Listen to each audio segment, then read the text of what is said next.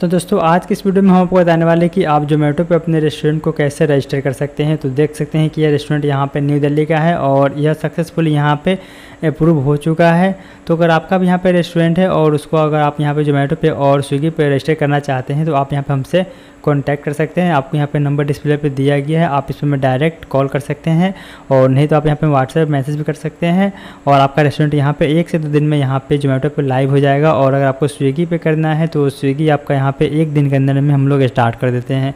पाँच से छः घंटे में आपका यहाँ पे सक्सेसफुल हो जाएगा स्विगी और इसके बाद आप यहाँ पे उसको ऑनलाइन कर सकते हैं और आपको यहाँ पे ऑर्डर वगैरह भी आना स्टार्ट हो जाएगा तो यहाँ पे अगर आप फ़ूड लाइसेंस भी बनाना चाहते हैं तो आप यहाँ पे फ़ूड लाइसेंस बनवा करके ए टू जेड सब काम करा सकते हैं सबसे पहले आपका हम यहाँ पे फ़ूड लाइसेंस बनाएँगे और जैसे आपका फ़ूड लाइसेंस आ जाएगा वैसे ही आपका यहाँ पे एक घंटे के अंदर में आपका यहाँ पे जोमेटो और स्विगी दोनों पे आपका यहाँ पे ऑनबोर्डिंग कंप्लीट कर देंगे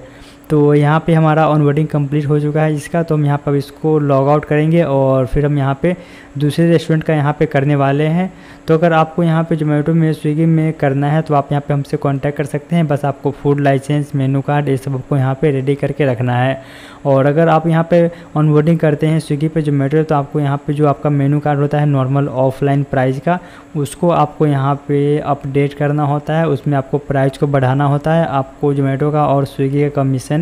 आपको देखना है कि आपके एरिया में कितना कमीशन है जोमेटो का स्विगी का और उसके बाद आपको यहाँ पे उसमें उतने परसेंट कमीशन को आपको इंक्रीज करना होता है ताकि जब भी आप जोमेटो पे और स्विगी पे लिस्ट करें तो जो आपका जोमेटो और स्विगी कमीशन काटेगा तो उसके बाद आपको लॉस ना हो। अगर आप यहाँ पे जो ऑफलाइन आपका प्राइस होता है, अगर वही आप डाल देते हो तो यहाँ पे उसी में से आपका जोमेटो और स्विगी कमीशन काट लेगा और इसके बाद आपको यहाँ पे लॉस हो सकता है। तो हम लोग जितना भी रेस्टोरेंट का ऑनबोर्डिंग करते हैं, उसका न्यू मेनू कार्ड बनाते हैं और इसके बाद उसमें प्राइस को बढ़ा करके रखते हैं ताकि कमीशन जोमेटो और स्विगी अपना ले भी ले, उसके बाद भी हमें यहाँ पे लॉस ना हो। तो अगर आपको ये सब कराना है तो नंबर डिस्प्ले पर दिया गया है। आप हमसे बात करके अपना रेस्टोरेंट ऐड करा सकते हैं फ़ूड लाइसेंस बनवा सकते हैं और स्विगी भी अपना स्टार्ट करा सकते हैं।